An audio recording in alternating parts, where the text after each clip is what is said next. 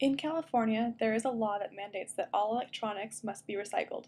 You cannot simply throw away your old computer or cell phone anymore. But is that really a good thing? Sure, it is keeping the harmful materials found in e-waste, like mercury for example, from contaminating our environment, but where is it all going? How is it being recycled? Our group looked into the many ways Californians can recycle their e-waste and found that a majority of the waste is shipped overseas to countries like China, India, and Ghana, where it is burned down for the precious metals inside, neglectful of health and safety measures. What is e-waste exactly? E-waste stands for electronic waste. It consists of computers, cell phones, printers, any and all electronic devices. With technology progressing at such a fast pace, e-waste recycling centers are constantly at work recycling our unwanted, old, or broken electronics. The e-waste recycling process. Millions of pounds of e-waste generated in the United States every year from MP3 players, computers, printers, USB drives and wires, and hard drives. The waste either gets recycled or thrown away. In California, we have a law that states that we have to recycle them. After that, it is shipped to developing nations.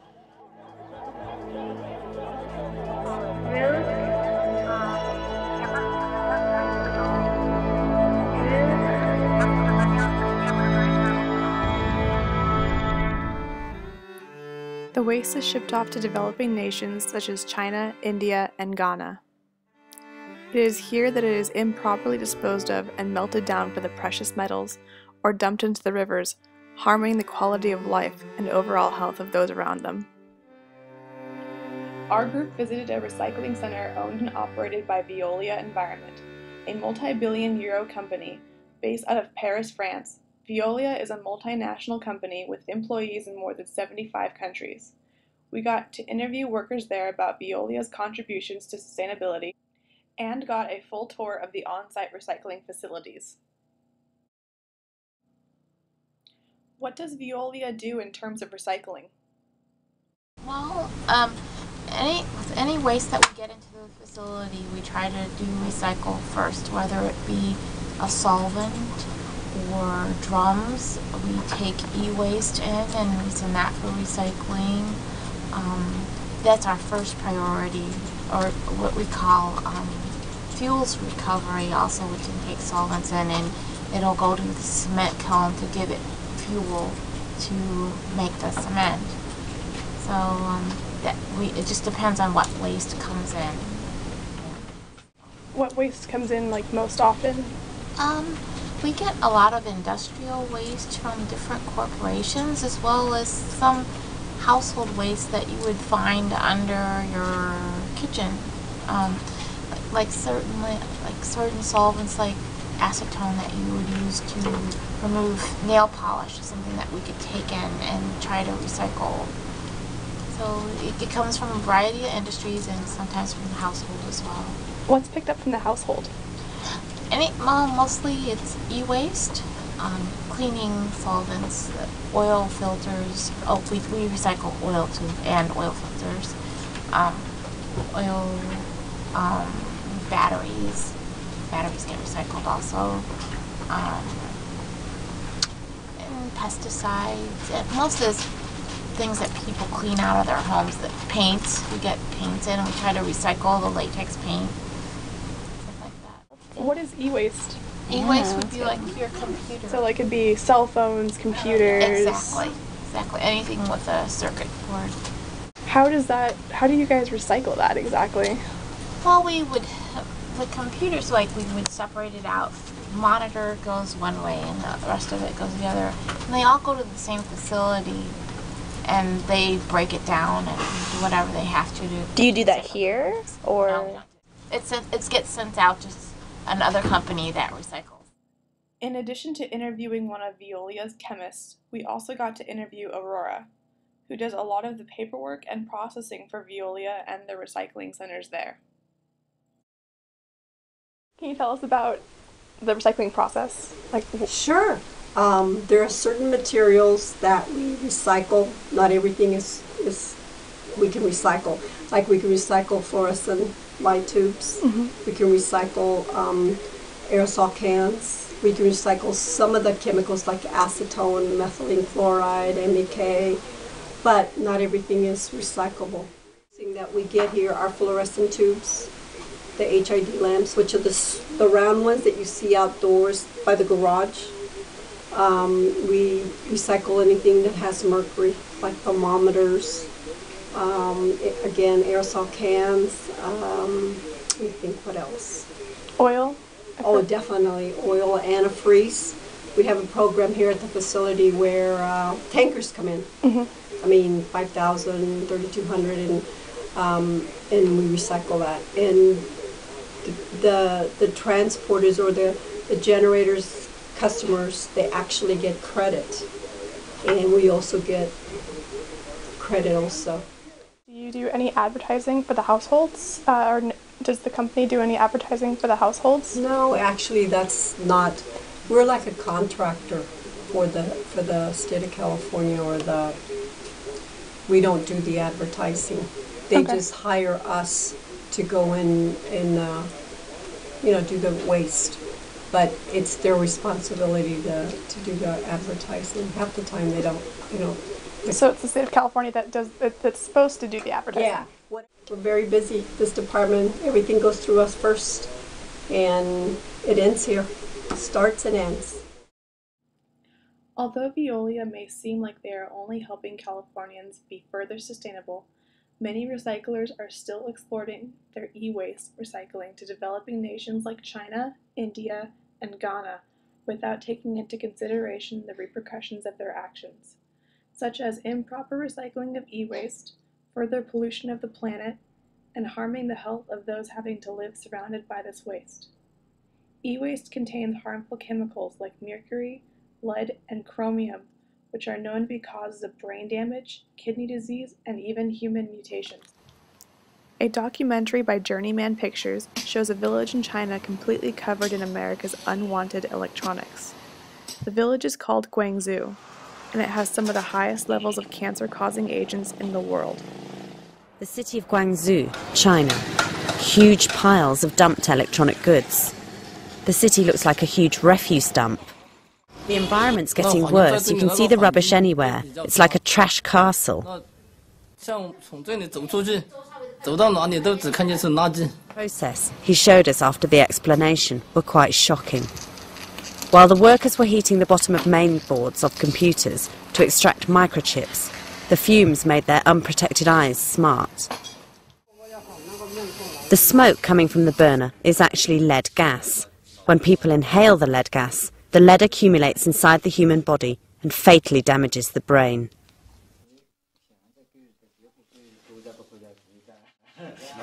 The smoke is too strong to breathe. I feel dizzy and I can't see anymore. The toxic gas is not the only problem. The plastic and glass from the machines are dumped anywhere and burned with no regard to pollution. The smoke, filled with toxic chemicals, spreads all over the village, and the ashes run through the river. People told us that most of the old people and children of the village are suffering from respiratory ailments or skin disease. China isn't the only one affected by illegal dumping of e waste. Dateline also did a segment on e waste based in Ghana, where shipments of e waste are dropped illegally every day from countries like Australia, Holland, and America. This is Agbogbloshie, Africa's biggest electronics wasteland, where thousands of old computers and TVs are dumped every day.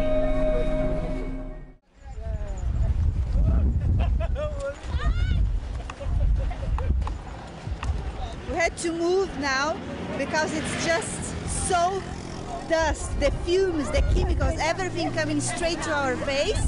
We can barely breathe. You are exposing ourselves to a lot of heavy metals, and these heavy metals cause a wide range of uh, uh, cancer. You know, lung cancer, I mean, organ cancer, basically, lungs, kidneys. They cause almost irreparable damage to your health. I come here very often, you know, to monitor the situation, document, talk to people here. We need to stop the illegal shipments of e-waste. And we need the evidence, we need the photos, we need these images to inform the international community.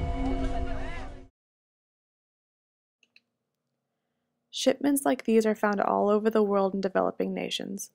Of course, there are some recycling centers based in the US equipped to process and recycle e waste, but without the proper research, one does not know where they're recycled and where e waste goes after it's dropped off at the households.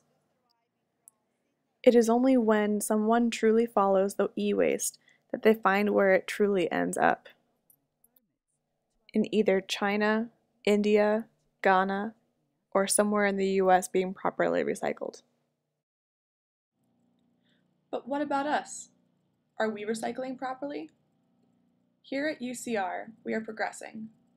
We have movements and policies like R'Garden and GCAP, the Green Campus Action Plan, which providing students with green knowledge and internships, pushing the university to be more green. Programs like these also provide the campus with green alternatives like biodegradable utensils in the hub and the recycling bins found around campus. These programs are all great, but what about our e-waste? To find more about where UCR's e-waste goes, we interviewed John Cook, Sustainability Coordinator for UCR, about UCR sustainable programs and initiatives. Do you know what happens to the electronic waste? So electronic waste, mm-hmm, so uh, it goes to environmental health and safety and it's stored there in a secure place. So one, uh, batteries. Mm-hmm. They can catch on fire if you connect two different types of batteries. And even though they may seem spent, there's still a little charge left. So things are light bulbs. These light bulbs have mercury in them, right? So they have to be stored in a certain way, and they can only be stored for a certain amount of time. So they control all that, and then it's shipped off and it goes to uh, a recycler. You know, the UC has a policy of uh, verifying where our waste e-waste is going. Mm-hmm. Now we allow ours to be shipped off sea, off off the U.S. coast continent, but it has to be verified where it's going. Where does it go? It go, primarily goes to India or China, and but it goes to facilities that are part of a verification system. So they're not going to end up ID. You know, not that I've actually been there to check this. I have been to all of our recycling facilities to see what followed our trucks there to see mm-hmm. where they're going so I can testify what's happening with that. But you know, there's places where they actually will go and they'll burn your computer to get the gold or the precious metals out. Mm-hmm. So the, so whatever's in those plastic casings is just going right up into the atmosphere. So that's a big concern. Or you know, and then it's just being left on the ground. Mm-hmm. Um, because that's what's valuable in older electronics is, is the precious metals that are that are in the, the, the boards and things like that. John has a clear knowledge of what happens to e-waste in third world countries, and because of this, he also has doubts of UCR's recycling process. We also asked John if he could tell us more about UCR's dedication to sustainability, and he described a few of UCR's programs geared towards sustainability.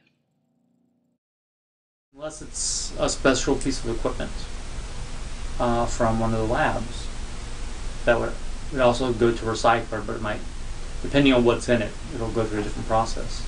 Mm-hmm. Uh, first thing they try to do is, is to see if they can actually reuse them. Now, if it's something like this computer's older, I could send it to the storehouse and they would sell it. Mm-hmm. If they can. And if they can't, then it goes to recycling. And then all the computers that we buy on campus, all the electronics we buy on campus, uh, have to be Energy Star if it's available. Mm-hmm. Right, so there's no such thing as an Energy Star microwave. No. Because if you have a thousand watt ma- microwave, it uses a thousand watts. It's just. Mm-hmm. Uh, so you can have Energy Star lawnmowers, you can have Energy Star TVs. Mm-hmm. Uh, the big ones are refrigerators, air conditioners. Like washers and dryers. Washers and dryers, yeah. So that they've been made that they actually reduce that. Now we have actually even more stringent with our e-waste, e- mm. before it becomes e-waste, our computers. It's called EPEAT, which is a, uh, another rating system that it requires it to be Energy Star would go further. And so we have a, a minimum of EPEAT, I think it's silver. Uh, there's a bronze, silver, and gold rating. What does this silver mean? Uh, it's just how how much of the, the components are energy efficient but also environmentally uh, eco-friendly. Okay. And then gold is more so so you know, It's just like a rating scale. yeah. So if you if you get a, a new Mac computer, it'll be EP. All of those are EP gold because they reduced they took out the mercury in them. Mm-hmm. They took out any, any sort of lead, other types of metals that could be dangerous. Um, they're much more energy efficient. Uh, the you know, and theirs they've also taken out a lot of the plastics, and then the plastics will be safer. Uh, And then how do you dispose of like the computers on campus? So when, when it's done, if it's if it's usable, and we can resell it, it goes to the storehouse and they resell it. Where do they resell it? Do you know? The, there's a, a w- actually the storehouse is over by the corporate yard, which is off of Linden. That's where physical plant is. So that's where most of the stuff we o- if you order office supplies or things, or these came in. These are ordered from Brookstone. These are smart. So these are smart sh- uh, power strips. So you plug in. So in this case, you plug in your computer to one socket, and all the peripherals to another. When you turn off your computer, it turns off the power to everything else. So you don't forget your monitor goes off. If you have speakers, that goes off. If you have a printer or you have a scanner connected to it, Okay. all those get shut off at the same time. So, or you know, TV's a great example. You have a TV, a DVR, or CD player, whatever's hooked up to it. If you turn off the TV, everything else goes off. Mm-hmm. Uh, so that's part of the green office program I'm setting up. The first thing, all right, that's the reduce, reuse, recycle. Exactly what we do. Can we get away from not using it to start with? Mm-hmm. If we do have to use it, can we reuse it somehow, resell it, someone else can take advantage of it? Mm-hmm. And the worst case scenario for us is then we recycle. So we did a pilot project with one of the, the bathrooms on the first floor of Surge hmm. um, for three weeks. And I took out the trash cans and replaced them with compost bins. Basically, which is exactly the same as the trash cans. We just put compost on them and put compostable bags on them. Hmm. And had very little contamination. Very, very little contamination. If we could find a way not to have to use bags or mini bags at all, right? So they're breathable, they, they break down themselves as compost are biodegradable. What Uh, can you put in the compost? So anything can be composted, but primarily what you're looking for uh, is food. That's Why would you put it in the bathroom then? Well, because paper towels. Oh, okay. So com- paper towels are they're recyclable or compostable, but they're wet. So it's easy. So so that they don't you have to dry them out before you get them to recycling. Oh. So Ivan's Spites, I started this last year, uh, picking up Oh, the, the coffee eco grounds. grounds, right? Yeah, so I, Okay. I did that for a few months, and then we got student volunteers to take that on, and now Diane's, after they saw the significance of it, Mhm. they, they're taking it on. The Coffee Bean and Tea Leaf have been doing it, um, but we have been missing these other cafes, bites, uh, the barn and Ivan's. Mhm. So we capture around 1,300 pounds a week in just coffee grounds. After talking about his project Eco Grounds, which composts coffee grounds, we asked John more about general composting and more about his composting programs. Coffee What contaminates the compost pile? Like what kind of plastics, we put in a lot of plastics, dairy, because dairy won't, won't compost. If you just take out the plastic bottle, like Yeah, so, well, so due to pre-consumer, we almost had no contamination because it's a very controlled environment. The cooks are, and the prep people are doing it. yeah, but once But you once you it get outside, outside, yeah. So the, the, the example is the, the Starbucks coffee cup. Mhm. The lid's plastic, it's recyclable. The cup is paper, but it has a wax lining for the heat. It's compostable, but it's not recyclable. And then the paper sleeve that goes on it can be recycled or it can be composted. So you've got People don't know that. you though. don't know that. We, Yeah. we have a on my website. We have a little drawing that explains what to do with your coffee cup. Mhm. Um, but then you have to be willing to separate it out. But there's no compost bins out in